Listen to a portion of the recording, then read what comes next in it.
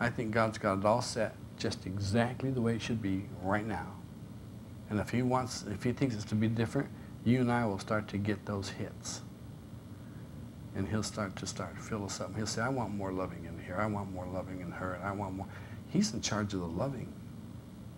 We're just commutators where we step it down from the divine principle into the world, into the auric field, into our behavior. And yeah, it's not every day ha ha ha ha fun and fun and fun and fun. Some days the karma comes up and you go, oh, not this one. Well, I don't say that anymore. I go, oh, this one. Just acknowledging what's present. I'm not going to deny it because that's denying the first law of spirit, which is acceptance. Not agreeing that I like it that way, but just accepting that it is that way. They killed 15 kids at Littleton, Colorado. I accept that. Anybody who doesn't accept it's in denial. And they're not going to have spiritual contact about that. You say, well, does that mean you love it and you're glad they did it? No. I just accept it because that's what it is. I accept that these television lights are here. Do you like them? No, they bother my eyes, but I accept they're here and they're here for a purpose. Do I stay involved in, I'm, I'm in acceptance, I'm in acceptance, I'm in acceptance, I'm in acceptance. no, because that's blocking. He's now starting to block. I just accept it and go on.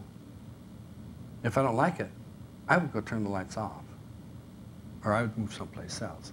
I know a lot of ways to do it rather than to do negativity.